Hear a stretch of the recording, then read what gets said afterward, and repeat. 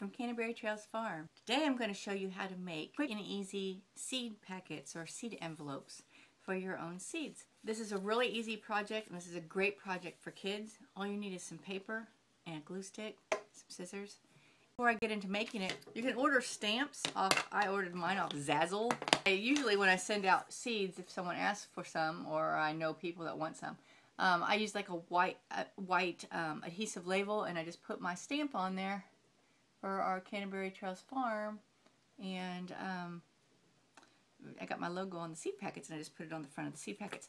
Um, I'm not, I don't really remember how much the Zazzle thing cost. Um, I don't think it was much, and I think they had like a coupon for first time user, and I think it probably came out to be like $6 or something like that. It's really cool to have to use um, for all kinds of projects.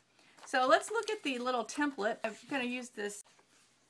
I, found that what's really great is origami paper because you can get them. They're so you can get big tablets of them like at Michael's, um, and they're just really pretty. Like this one's reversible, so the inside of the envelope is actually it looks really fancy. I mean, it's nice. So let's go ahead and do one. So I already, I have this little template that I've been using for like ever. I keep saying what I want to do is like get it in wood or plastic or something, and then I can I'd have it. It's like permanent. I'm just to do it on the side that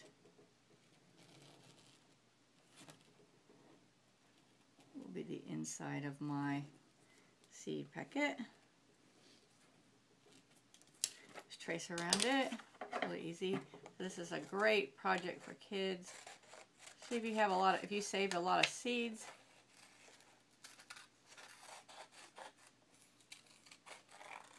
It gives them something to do and feel useful. And you just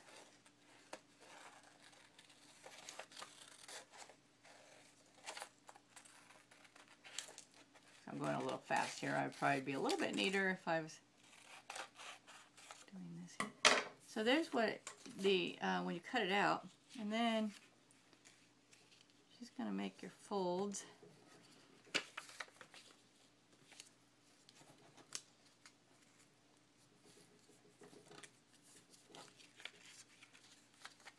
Just going to fold it on this way just so I know how to fold it there.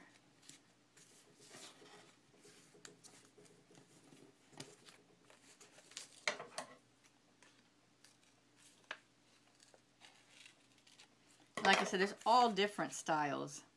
So when you get it um, cut and folded, get that a really good crease there. Just gonna take my glue stick. Go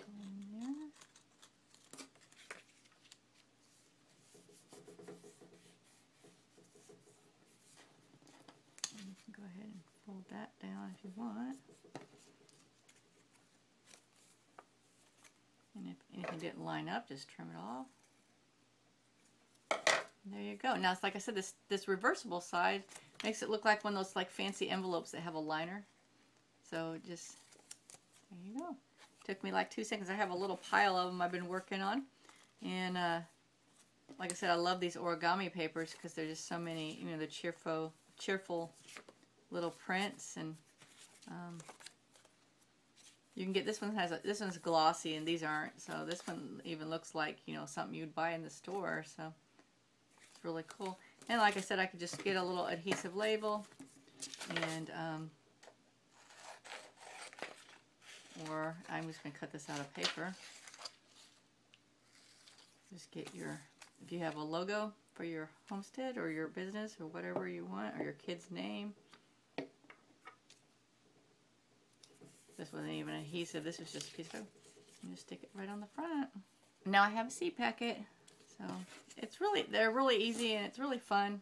I think the glue stick, the craft glue stick works really good Elmer's or whatever. It's fun. It's a really quick project. Like I said, if you don't like this style of template that I was using, if you like maybe a pointy, pointy um, flap or something, uh, just go, just, just look for a free downloadable um, seed packet templates or free printable downloadable um, seed packets.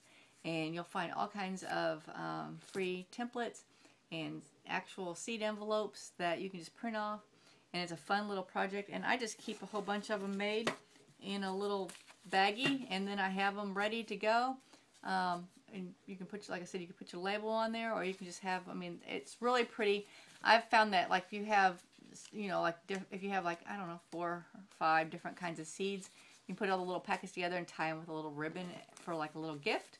It's really cute and it's something that you have if you have surplus seeds um, it's a way to use those up and it's a nice gift and um, it's a really quick project but it's so much fun and like I said it's a great project for kids and the whole family to get in on.